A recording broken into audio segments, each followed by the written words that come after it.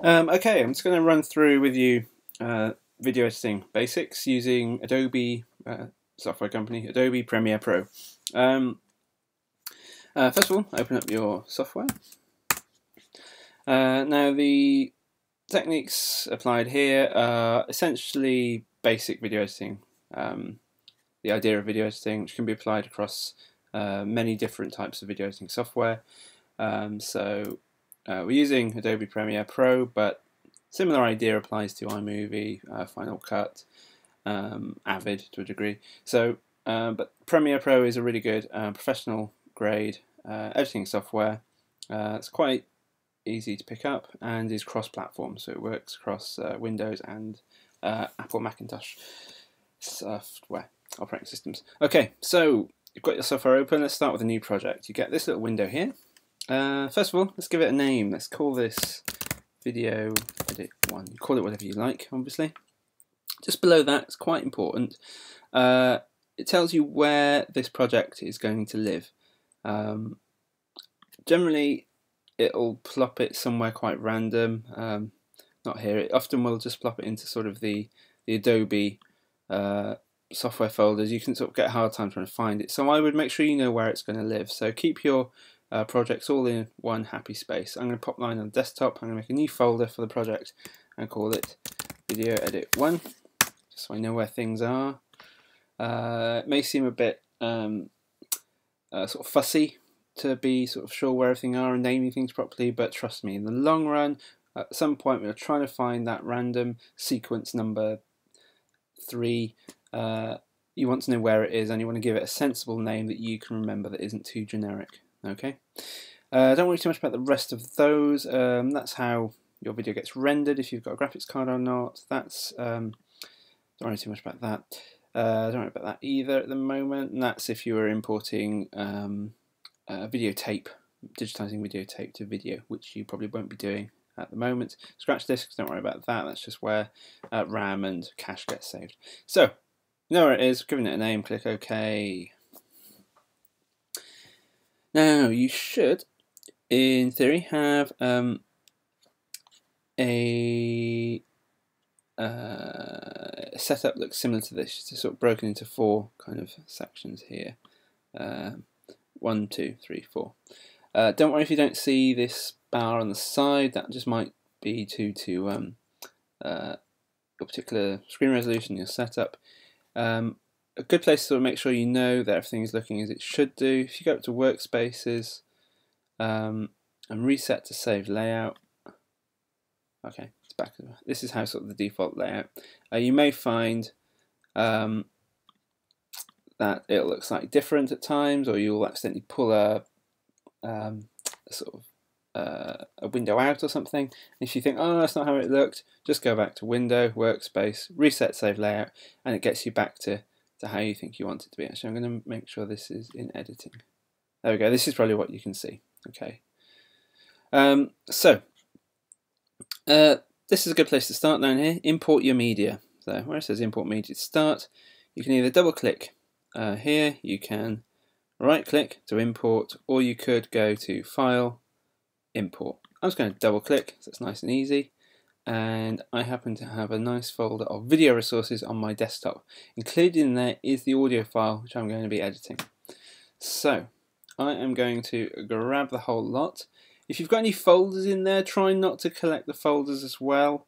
Uh, if you want to, if you've selected files and you want to not select a particular file, um, just press Command and then click on the file and it won't import that one. But we're going to bring all these ones in for now. That all looks good. They're all video files. There's um, uh, slightly different video file, file, formats. There's one image there, a PNG, and there's also an audio file. I'm going to import all of that. Shouldn't take too long. Plop. And there they all are down there. Great stuff. Now, uh, this area here is your timeline. This is where you'll create what's called a sequence uh, which is where you'll be doing a lot of your editing. There's currently no sequence there at the moment. Now, you can literally just drag some media into from here into here, and it will create a sequence um, to the resolution and the format that you've dragged in. However, some of these are slightly different sizes. So to make sure you know the dimensions and the frame rate um, of your uh, video, I would start off by setting up a new project, a new sequence rather yourself manually. So go up to File, New, Sequence. Here's a load of different file formats, camera formats.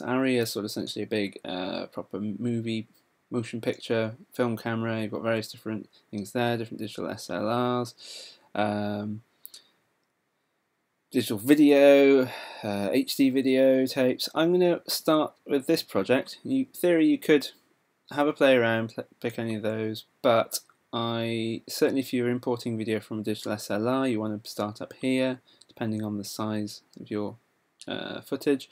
We'll go through screen resolutions and stuff properly at a later date if you're not clear on that. I'm going to go into mobile and devices and click iPod.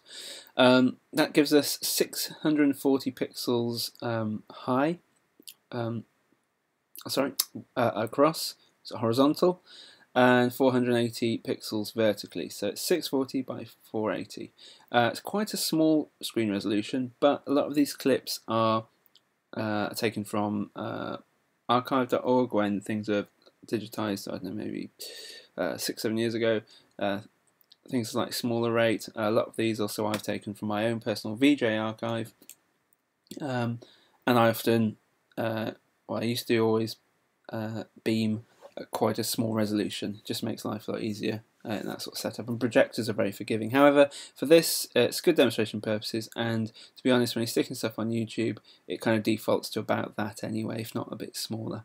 So uh, I'm happy with that. However, I am going to make sure in my settings, so sequence presets, I've clicked that one, that's great. But I notice here frame rate is 15 frames a second. Um, I'm going to change that to 25 frames a second, simply because 25 frames a second is more akin to normal um, TV frame rates. Um, frames a second essentially BPM for uh, your footage. Um, so Cartoons are often about 12 to 15 frames a second. Uh, movie pictures are 24 frames a second. TV, most videos online, 25 is a nice, good, easy number to go with. So we'll go with that. 640 by 480, that's great, great, great. Don't want to change any of that. That's all fine. Yep, happy with that. Cool, now I've got a timeline. Check it. So, uh, let's get some footage in the timeline. I'm going to start off by, because I've got a, a, separate audio track, you may not always have a separate audio track, um, but in this case I do, and I can see that's uh, audio there, it's got a little waveform. Uh, one below it, it's got a little sort of film, celluloid film clip and a little waveform, so I know that's probably video with audio, and some of the other ones don't have any audio. If you're not seeing this window, the project window, in a list, you might be seeing it down here as sort of thumbnails. Um, thumbnail view is quite good if you're not familiar with your footage. Uh, whoop, gives you ah, oh yeah, a mouse issue there. Right, yeah, gives you a good idea of what your footage looks like, um, and it also indicates there, look, with that little waveform, if it's got audio or not. Okay, uh, I'm going to work in list view just because I know what a lot of these are, but I may switch back and forth. Um, so first of all, I'm going to bring the audio there. That's the uh, M4A file. Uh, it's basically MPEG audio format. And drag that down here, and you'll see I can't plop it in there. There's a little cross on my hand because I can't put it in the video. The V is for video, but I can put it in audio. I can put it in any of these layers I want to. Um, I don't really mind which one you plop it into. Audio 2, audio. I'm going to put in audio 1. Um, simply because I'm going to, but it doesn't really matter where you put it. Uh, but you'll see when you try and import audio with video, that'll try and sort of display the audio either side, and if that was down there, it might plop the other audio at the top. Um, anyway, so we've got some audio, and to check it's working, we can either scrub through here, scrub that, or just press play. Okay, press spacebar rather, and that'll play just like on a lot of other audio editing software. Spacebar is the play button. Uh, let's get some video in. To start at the top, just because. And if you double click on one of these, and also it happens if you um,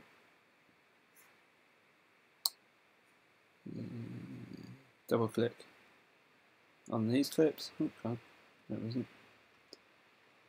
There we go. Double click on the actual video file that plop up there, either or. You get your video footage here.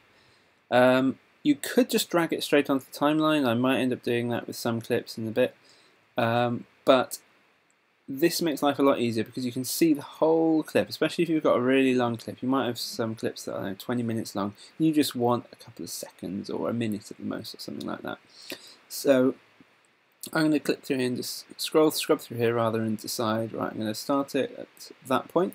And if you want to be more precise, you can use your um, arrow keys to scroll through frame by frame.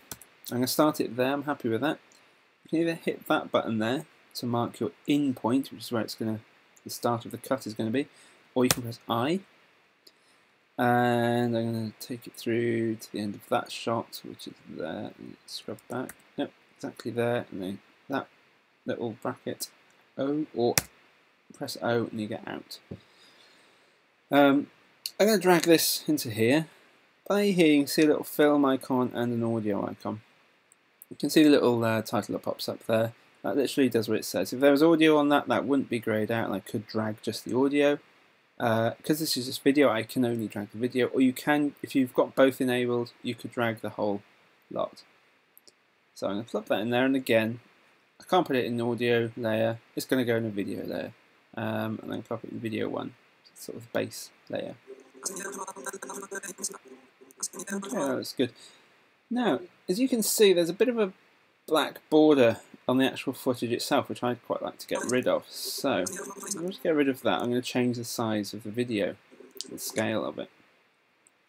Now, all the video clips have a very basic uh, number of effects. If you select the clip you want, uh, up over here, you've got that sort of source window.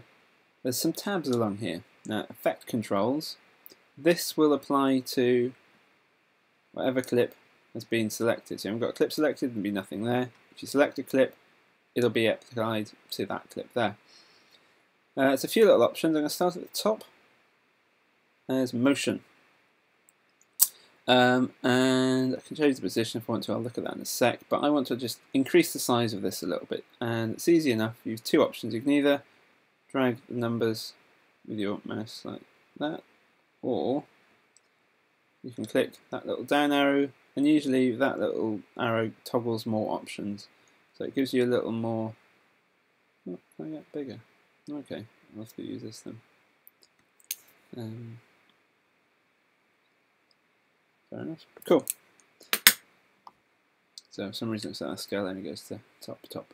But if you go up here you can scrub that bigger. So I need to about that that's good. So Okay, this is great, but I'm editing video to audio. Um, if you are cutting a, um, sort of a piece of video music, uh, ideally you want to know where the waveforms are, where the dips and the troughs are, peaks, you can really sort of then start cutting things quite accurately. In order to show the waveform and a bit of a thumbnail in the video, so you know what's going on, See this little spanner or wrench there? If you click that, go down to expand all tracks, boom, we've got that there. And if you need to zoom in any point to your timeline, down the bottom here there's a little scroll bar. If you grab that end, you can zoom right in and get quite a lot of detail out of it, which is quite handy, but we don't need that much detail for now, so I'm going to keep it trimmed to about there. So let's just see what's going on here.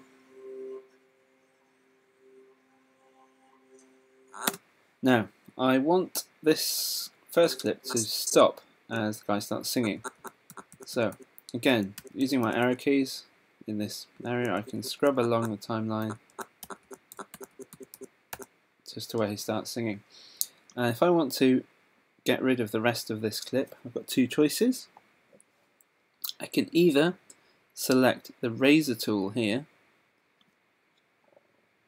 and you can sort of move your razor around and you'll sort of notice there's two little arrows at the top and bottom, white arrows. That kind of denotes once they're selected, if you click around there, it'll chop it exactly where that playhead line is. Okay, so that now has created two separate clips, and going back to my main default selection tool or V, I can then select one of those clips and delete it, or I could cut it, or I could move it, I could paste it, do whatever I want to. But I'm happy with that. Um, the other option I could have done is literally still keeping on the selection tool, go to the edge of any clip and you'll see that little red bracket and arrow. That shows you you can just drag, move things in. While you're dragging stuff around like that, you'll notice the clip kind of snaps quite well to wherever the playhead is. Um, that's because there's that little icon on there, snap for S. If that's not on that magnet, then you won't. It'll be sort of a bit more floppy. Uh, sometimes you might not want that on if you want to get a bit more accuracy out of it, but be warned, it means when you're dragging clips along, they won't sort of connect to each other necessarily. You might end up with black gaps that you don't want. So by and large, this sort of snapping tool is your friend. Cool, got my first clip in. I'm happy with that. Let's get another clip in. Um, let's go for this one here. If I double click here, I can see what footage I've got. It's quite nice. I'll start it there my in point. That's my out point. And again, audio is not selected, let's drag that in to there. And now I've got a real nice clean cut. So, um, happy with that. Now, I'm going to find a bit of footage that's a little bit smaller than this main window. Um, it means we can sort of start doing a little bit of animation if we wanted to. Um, there's a there we go. Tomorrow's World Mobile. Let me select that there. Oops. Double click on the actual icon itself to show it up. Now this has audio on it. It's a, um, a clip from the 1980s about how to about the future of mobile technology. Now, digital information. I'm to find a little bit with a bit of audio. And that's quite an achievement. Dial yourself. There we go. Let's go for dial yourself. Is a device allows you. Right. I'm going to start it there. To dial yourself. And again, I'm pressing spacebar to start and stop this um, uh, this playhead here. Now I'm going to click O. And as you see, as I mentioned, because you've got audio on here, you've got the video and audio, which possibly you can use. Now, I am going to drag all of this because I always use it as a bit of a sample. I'm going to plop it in actually at the beginning of the clip.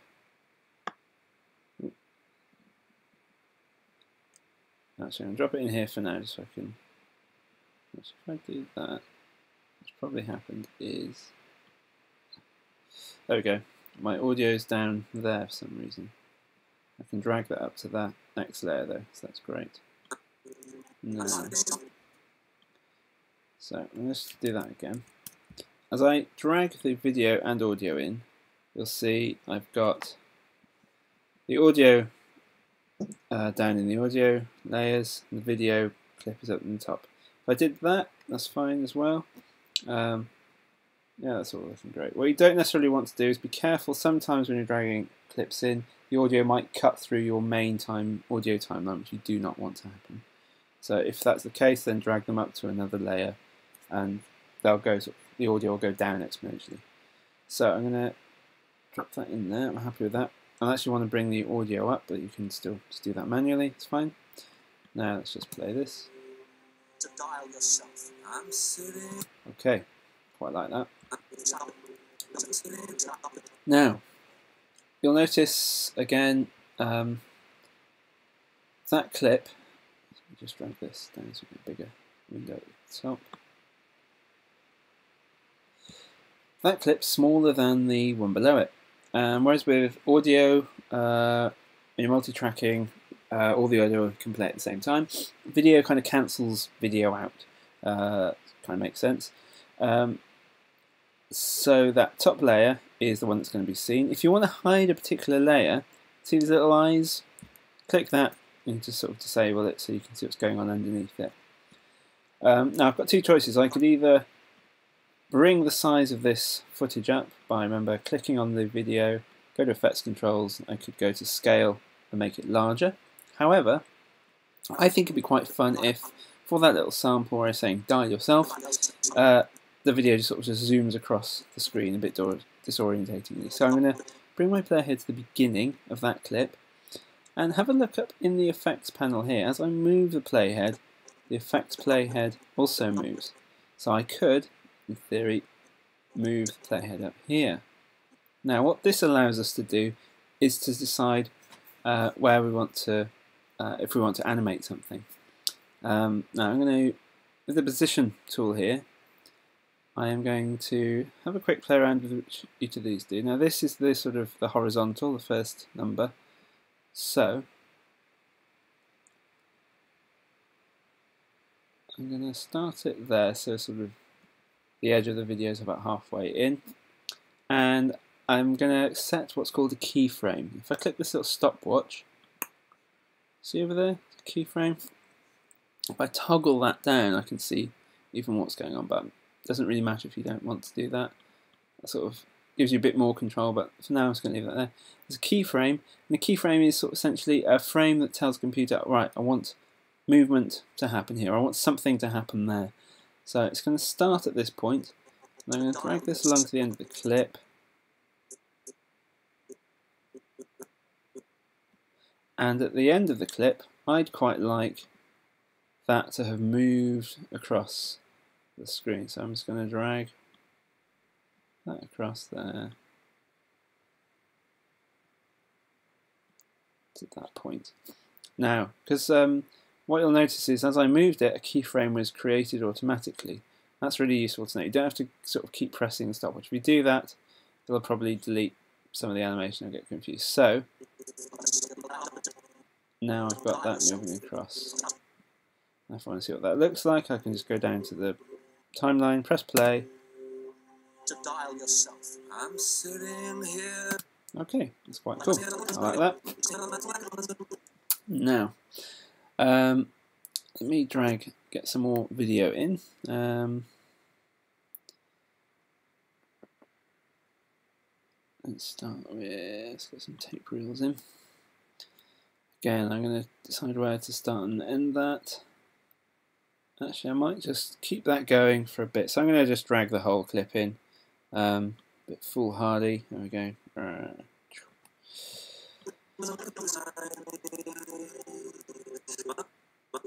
Okay. Now, see if I was doing this properly, I would start going in and making sure there's different bits of video for each of the um, different phrases or changes in mood and different bits of music. Uh, for now, I'm not going to worry too much about that, but I would expect people to pay a bit more care and attention to what's going on and to be aware of the power of the image. Um, because uh, depending on what the vocals are saying, people will associate imagery with that. If it doesn't quite fit, uh, people's minds will usually uh, squeeze it into fit, so they'll make up different assumptions and different metaphors and things like that. So do be aware of what you're doing, um, that you're not creating meaning that you don't necessarily want to impart to your viewer. Anyway, um, okay, so I'm happy with that. That, doing that. Cool. Right, I'm now going to bring in um, uh, another bit of sort of animation, just because we're on that tip. Now, maudhead.png is uh, a picture of my my old cat. Um, now, it's a PNG file, it's a file which is an image file format. PNG is a file format that allows you to have transparency in the background. Uh, so, essentially, if we drag him in, let's see what I mean.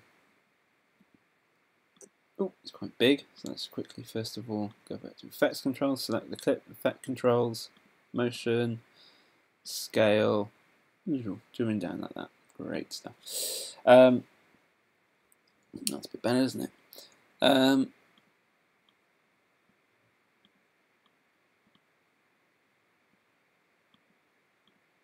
now, uh, PNG transparency, you can make images transparent yourself, either in something like Photoshop or uh, mobile apps are good. This is what I made this one in. Uh, really quick and easy. It's called, uh, I think it's Background Eraser, something like that. There's lots of them. Find one you like the look of. It's free. Give it a crack. Um, and export it as a PNG. If you export uh, images out as JPEGs, you won't be able to get any transparency in them like that. So, what I want to happen here is Maud, the name of the cat, his head sort of zooms in. So, I'm going to have a go at this, at the scale animation that we tried just now. So, I'm going to go to the beginning of the clip. Um, scale them right down. Press the stopwatch button to toggle the animation, get a little keyframe, move that to the end of the clip, and I'm going to make him bigger. And as you see, keyframes automatically made for me. Great stuff. What I might also do with this is include some rotation. So, again, at the beginning of the clip, I'm going to click toggle animation, stopwatch, gives me a keyframe. I go to the end of the clip and I'm going to rotate that around. Now I can either do that or there's, if you toggle down you can see the there's this little wheel which is quite handy. Now as you see as I move this around, up here I've got two times and um, numbers that go up to 360. Uh, that's essentially the number of times it's done a complete rotation. So let's rotate it around three, four times. You can spin around quite quickly there, I'd imagine.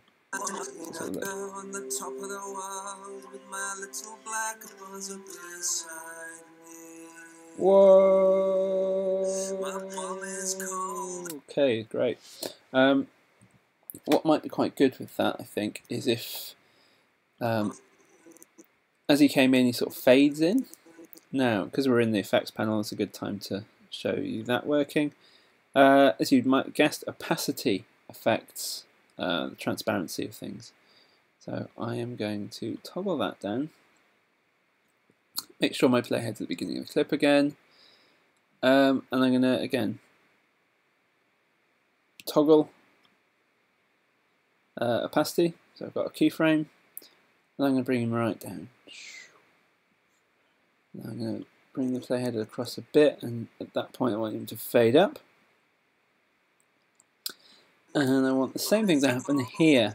But I'm thinking, right, at this point it still needs to be 100, and then I want to zoom in. What you can do with these keyframes is you can copy them. So I'm going to press Command C, or if you right click, you can just copy. And then over here, I can paste the keyframe, and it's the same one. So that says, yep, yeah, that keyframe, 100%. I'm coming over here, and I can squeeze them down like that. Now I could have just gone there and just sort of wiggled that around so I made a keyframe appear, brought it to 100, but just let you know you can move keyframes around to really sort of tweak your animation and get it looking how you want it to. Okay, I quite like that spooky cat head from space. Right.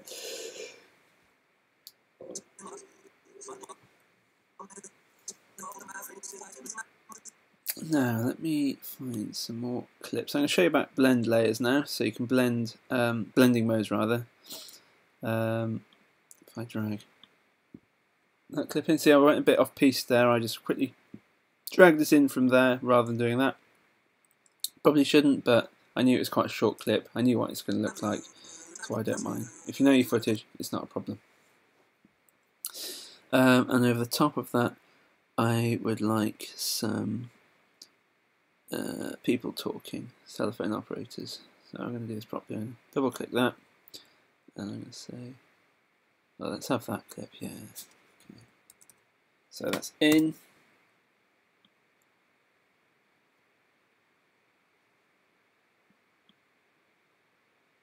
So lots of people plugging stuff in. Okay, we'll keep that out, and then we'll see if that can. Okay, it's a bit longer than this, so I'm going to bring that down to the edge of that. That's cool. What I could also do, uh, which is a bit probably shouldn't start playing around with it, but you can do if you really want to. This tool here, the rate stretch tool, I can click that and then I can drag footage out, but it will slow that footage down. So it means, oh, let me just hide this so you can see what's going on. It's a bit slower than it would have been, but I don't mind. Um, I'm going to make sure as well that chops off as I start that chorus. So go back to selection, drag that, Drag that in, brilliant. Remember you can always zoom in if you want to be more accurate. Now, let me just show that top layer. So obviously I can't see what's going on underneath that layer, but if I click this layer, go back up to effects, go to opacity again, I don't want to change the opacity, but I could change the blend mode. Now that effectively gives the top layer a different uh, quality. Um, the top sections here, darken multiply is quite an interesting one. Um, essentially with that, you're knocking out um, uh, darker sections, uh, letting things show through. So let's just see what that looks like. It's quite weird. Um, ones below that screen, they sort of have a, an opposite effect. So all the dark uh, elements on the top layer sort of uh, don't really show that much, and it means you can sort of brighten things up, knock things out that way. Um, you could try overlay if you wanted to. That's a bit more of a softer idea. Um, have a play around, see what works for you. Um, I think that's quite cool. Quite like that. I'm going to go with that one. What I might also do with this is I want to increase the contrast because this footage is quite old. It's grey rather than black and white, really. Um, uh, I'll introduce you to some effects now. Uh, down here in our project browser, these are all tabs. These can be sort of scrolled through. Along here there is one called effects. Now if I click that little arrow I can see the effects there. Another way to bring that up would be just to go to window, find the effects, boom, and it shows up there. Now I quite like to um, change what's known as the, the levels of the, uh, the, the image. Um, uh, so it's the black levels and the white levels. Now if I go to video effects and just the top one there, adjust, there's a, a, levels here. Now to apply these type of effects, these are different from these sort of default uh, baseline sort of foundation effects. These are usually a bit more interesting, but don't just go crazy with effects because um, unless you want a particular bad cheesy aesthetic, which you know, nothing wrong with that.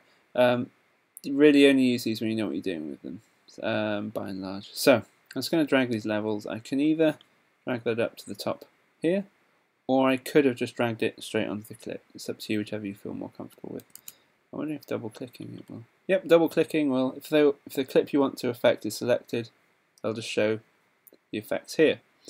Now, essentially, all I want to do is have a play around. There's a lot of bits on these levels, but I'm just going to keep it simple at the top here. So my black input, I'm going to increase that a bit, and then my white output, I'm going to bring that back. There we go boom, proper hard black and white. It's quite nice, that's what I want. Um, now, this last little section, I'm going to bring in, um, let's go back to my media browser. Oh no, project, even project window. Um, I'm going to grab the stars. I quite like the stars. Drag that in in.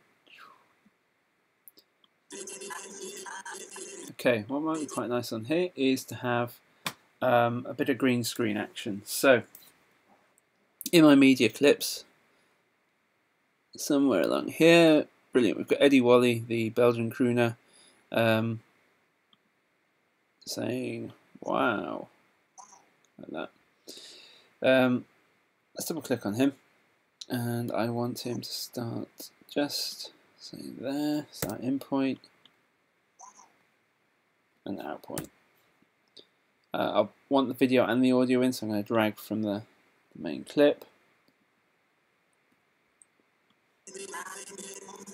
Okay, so this clip's a little shorter than the uh, rest of it, so again, I can change that by um, either increasing the scale of him or and move the position down so he's literally coming up from the bottom of the video.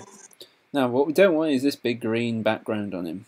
Um, so I'm going to use um, another video effect here. No, wrong one. Effects. Um,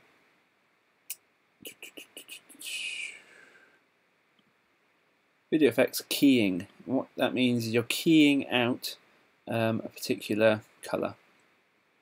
So I'm going to go for a color key. Double click that. Um, and the main thing you need to worry about is what color here is the what color shown here is the color that's going to be taken out of the background. An easy way to find the right color you're looking for is the eyedropper tool. Okay.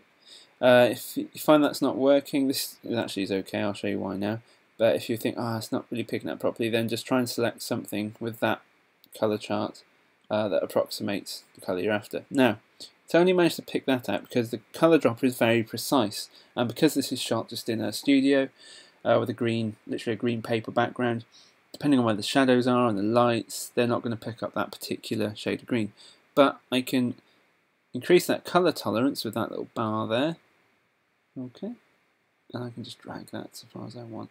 I'm not going for the most professional um, chroma keying here, so I won't worry too much about it, but you know, uh, I can thin the edge down to refine it. You can even feather it to give it a sort of a softer, a softer edging as well. That's great. Let's just play that through.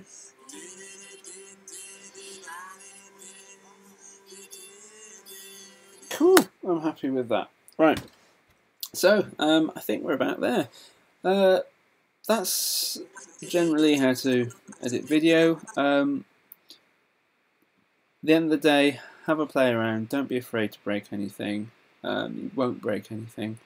Um, but just see what happens. Um, now, assuming I've got to the end of my track, I've made my whole video, I haven't done yet.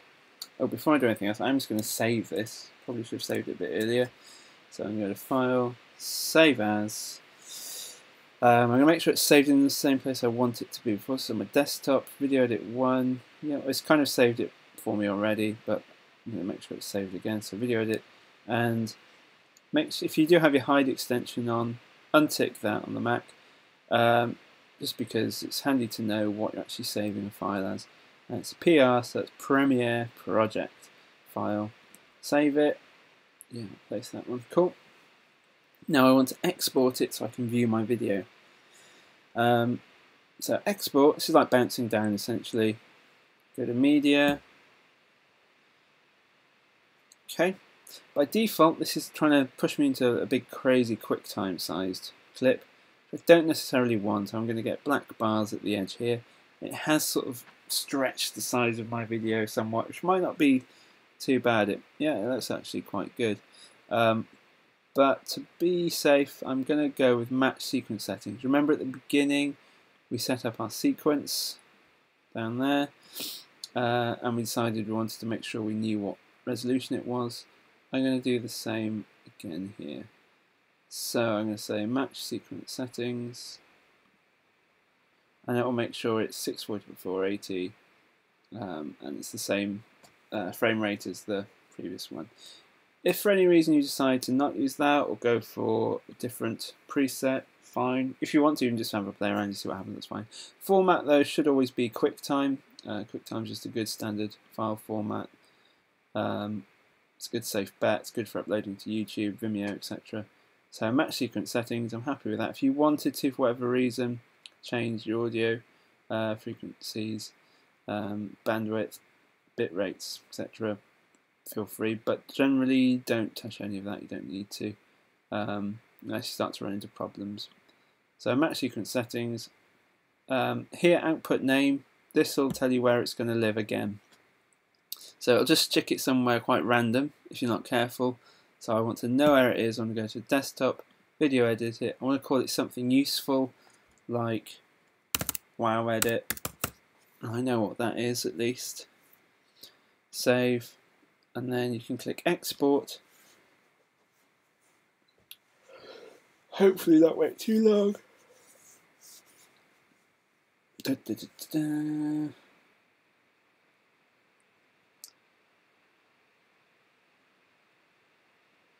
Five, four, three, two, one. Cool. And then on my desktop, Video Edit 1 is my WoW edit, and that is just a QuickTime. If I press that, that'll play.